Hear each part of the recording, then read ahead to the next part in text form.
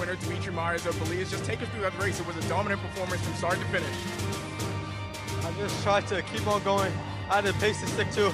I trained really hard to get here in a park in, in uh, Philadelphia in the States.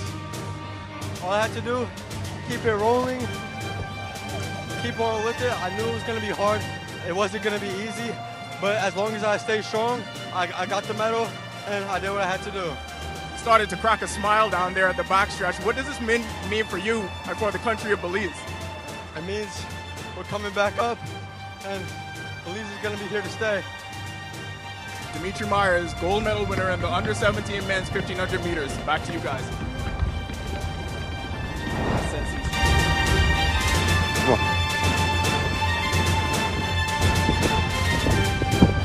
Pick your toe up, pick your toe up.